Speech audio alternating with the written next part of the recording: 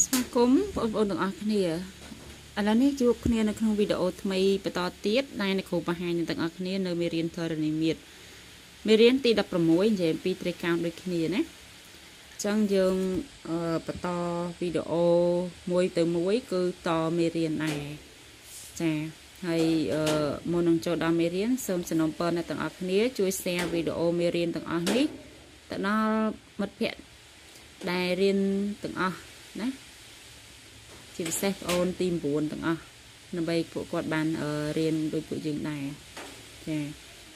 អូខេឥឡូវនេះយើងទៅមើលមេរៀនទាំងអស់គ្នា នៅមេរៀនទី6មេរៀនទី16នេះនិយាយអំពីត្រីកោណដូចគ្នាដែលផ្នែកនេះគឺជាផ្នែកធរណីមាត្រណា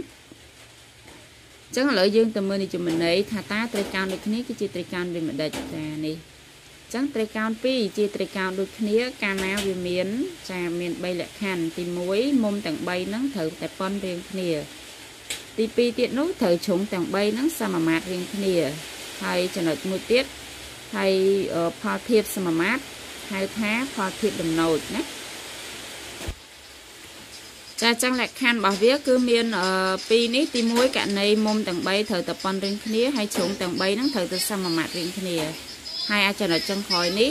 ពាក់ព័ន្ធនឹងផលធៀបឈ្មោះរបស់ផលធៀបសមមាត្រគេហៅថាអីអញ្ចឹងផលធៀបសមមាត្រយើងឲ្យឈ្មោះថាវាជាផលធៀបដំណូចណា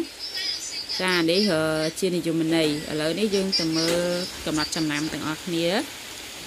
ក្នុងការសរសេរត្រីកោណដូចគ្នាអឺបើសិនជាត្រីកោណ2ដូចគ្នាយើងត្រូវតាំងឧទាហរណ៍ថាត្រីកោណ ABC ដូចត្រីកោណ A' B' C' នេះគេនិមិត្តសញ្ញាតាងដោយនិមិត្តសញ្ញាមួយនេះចាអញ្ចឹងអានិមិត្តសញ្ញាដូចសញ្ញាប្រហែលមួយនេះគេឲ្យឈ្មោះថាជានិមិត្តសញ្ញាដូចដូចគ្នា មួយទៀតបាត្រីកោណ ABC និងត្រីកោណ A' B' C' ជាត្រីកោណដូចគ្នាតាមផលធៀបដំណូចបើវាដូចគ្នាតាមផលធៀបដំណូចគេសរសេរផលធៀបសមាមាត្រនៃជ្រុងទាំង3 ដោយរៀបកំពូលទៅតាមលំដាប់នៃមុំប៉ុនគ្នាចាអញ្ចឹងទី1គេឲ្យយើងត្រូវសរសេរកាត់ពាក្យថាដូចគ្នាសរសេរបែបនេះបន្តមកទៀតពេលដែលយើងរៀបវាឋានាធៀបណា គឺរៀបទៅតាមមុំនិងជ្រុងទាំង3ណាចាហើយក្នុងការដាក់ធៀបដាក់ធៀបណា សំណាប់ចំណាំកន្លែងនេះមួយទៀតយើងអាចសរសេរខ្លួនឯងក៏បានដែរ ដឹងដឹងថាយកត្រីកោណណាធៀបត្រីកោណណាយើងទៅមើលផលធៀបដំណូចបើផលធៀបដំណូចភាកយកធំជាងភាកបែងចឹងរូបគឺយកត្រីកោណធំធៀបត្រីកោណតូចបើភាកយកតូចជាងភាកបែងយកត្រីកោណតូចធៀបនឹងត្រីកោណធំណាចាអញ្ចឹងអឺយើង ពាក់ព័ន្ធនឹងការទាញផលធៀបដំណូចនៃត្រីកោណមួយទៅត្រីកោណមួយឲ្យត្រូវជ្រុងយើងត្រូវមើលនៅករណីបាសិនជាការហ្នឹងគេឲ្យមកជាប្រភេទ3លើ1អញ្ចឹងមានន័យថាភាគយកវាធំជាងភាគបែងបើធំជាងភាគបែងយើងត្រូវយកអាត្រីកោណធំនេះណាយកទៅធៀបជាមួយនឹងត្រីកោណតូចហើយក្នុងការធៀបហ្នឹងគឺយើងត្រូវទៅធៀបឲ្យត្រូវជ្រុងរបស់វាដែរឧទាហរណ៍ថាមុំ A មុំ A វាត្រូវនឹងមុំអីគឺត្រូវនឹងមុំ A' ហើយ វាត្រូវនឹងមុំអីទៀតឧទាហរណ៍ថាមុំសេត្រូវនឹងសេព្រីមដោយសារតែគេគូសកន្លែងនេះមុំដែលដូចគ្នាគេអាចគូសសញ្ញាធ្វើម៉េចឲ្យដូចគ្នាអញ្ចឹងពេលខ្លះគេអាចទាំងរៀបវាឲ្យត្រូវលើលើដូចគ្នាប៉ុន្តែពេលខ្លះតែកោនខ្លះគេអាចបន្លំភ្នែកយើងបើសិនជាយើងឆ្លាតយើងអាចធៀបបានណាណាអញ្ចឹងដើម្បីបានពេលអនុវត្តលំហាត់ទៅត្រូវយើងត្រូវមើលនៅក្នុងករណីនេះឲ្យច្បាស់មែនតើណាចា ចឹងជាក់ស្ដែងដូចនេះការធៀបត្រីកោណខាងលើនេះ មានត្រីកោណ AA' អឺ A' B' C' ធៀបជាមួយនឹង A BC ហេតុអីបានយើងយក AB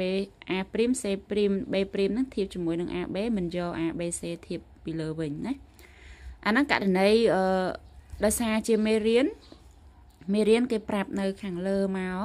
ខាងលើមកគឺយើងអាចយកអាណាធៀបណាសិនក៏បានដែរប៉ុន្តែនៅពេលយើងដោះស្រាយលំហាត់យើងត្រូវមើលតម្លៃការនេះណាតម្លៃការនេះបើសិនជាភាគយកធំជាងភាគបែងយកត្រីកោណធំធៀបបើសិនជាអឺករណីការហ្នឹងតូចភាគយកតូចជាងភាគបែងយកត្រីកោណធៀបតែបើសិនជាករណីគេអត់មានប្រាប់តម្លៃការកន្លែងនេះយើងត្រូវមើលទៅលើប្រធានលំហាត់ប្រធានលំហាត់បើសិនជាគេថា ត្រីកោណណាធៀបត្រីកោណណាយកអានឹងធៀបខាងលើណាអូខេនេះជាចំណាំនេះជាអ្វីដែលយើងត្រូវចាំ គឺដូចអ្វីដែលខ្ញុំនិយាយមិញអញ្ចឹងយកលេខមើលតម្លៃការហ្នឹងធៀបគ្នាអូខេអញ្ចឹងមេរៀនយើងចាប់ប៉ុណ្នេះហើយយើងទៅមើលលំហាត់ជាឧទាហរណ៍មួយដើម្បីឲ្យកាន់តែច្បាស់នៅក្នុងមេរៀនដំបូងឧទាហរណ៍លំហាត់ដំបូងនៃមេរៀននេះណា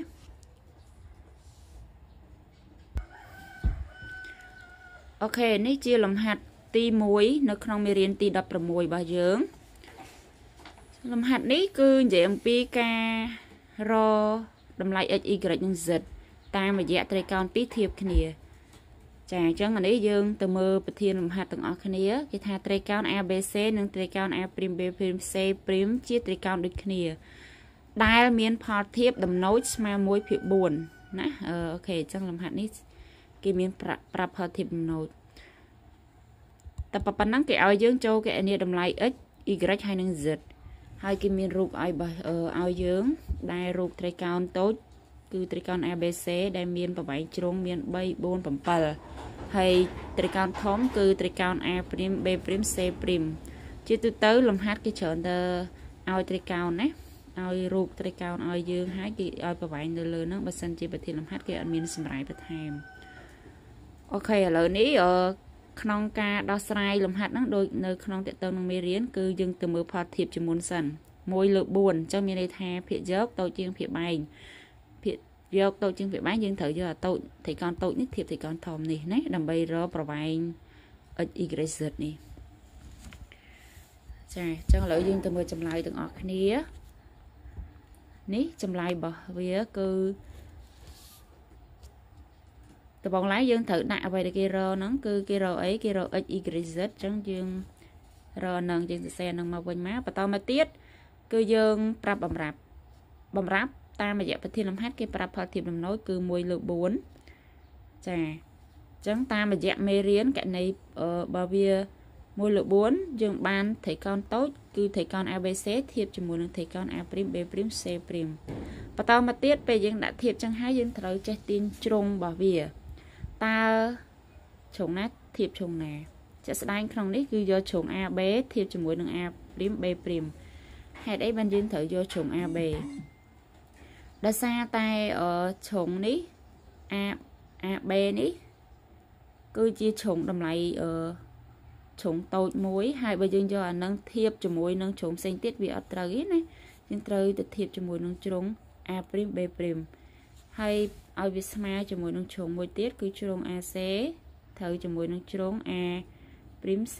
ដូចគ្នាហើយបើជ្រុងខាងក្រោមគឺអី BC ធៀបជាមួយនឹង B' C' ចាអញ្ចឹងក្នុងការទាញផលធៀបចុងក្រោយគឺស្រូវស្មើផលធៀបគឺ1លើ4នេះតាមរយៈរូបមន្តមេរៀនយើងរៀនមុននឹងបន្តិចបន្តមកទៀតចាំយើងទៅជួសតម្លៃលេខជាក់ស្ដែងក្នុងវិធីលំហាត់ AB គឺ3 A' B' គឺ x AC 4 AC A' C' គឺ y ហើយ BC 7ហើយ BC' គឺគឺ z ណាហើយត្រូវទៅស្មើ1លើ4ជានិច្ចយើងបានប៉ុណ្ណេះហើយពួកយើងធ្លាប់រៀននៅក្នុងថ្នាក់ក្រោមហើយក្នុងការទាញសមាមាត្រយើងមិនអាចទាញម្ដងទាំង4តួនោះបានទេយើងត្រូវទាញម្ដងមួយអញ្ចឹងដំបូងឡើយយើងត្រូវឲ្យ 3x 3លើ x ហ្នឹងស្មើ1លើ4សិន បន្តមកទៀតយើងទាញសមាមាត្ររកតម្លៃ x មកអូខេអញ្ចឹងយើងទាញសមាមាត្រមក x បាន3គុណ4 12ចែក1បាន12ដដែលមួយទៀត4លើ y ស្មើ1លើ4ដូចគ្នាទាញរក y មកយើងបាន4គុណ4 16ចែក1 16ណាចម្លើយហើយចុងក្រោយគឺ7លើ z ស្មើ1លើ4ដូចគ្នាហើយទីរ z មកគឺស្មើនឹង7គុណនឹង4មក28ចែកនឹង1 28ដដែល អូខេអញ្ចឹងអឺចម្លើយរបស់យើងគឺចាប់ប៉ុណ្ណេះហើយចុងក្រោយ x គឺស្មើ12 y ស្មើនឹង16ហើយ z ស្មើនឹង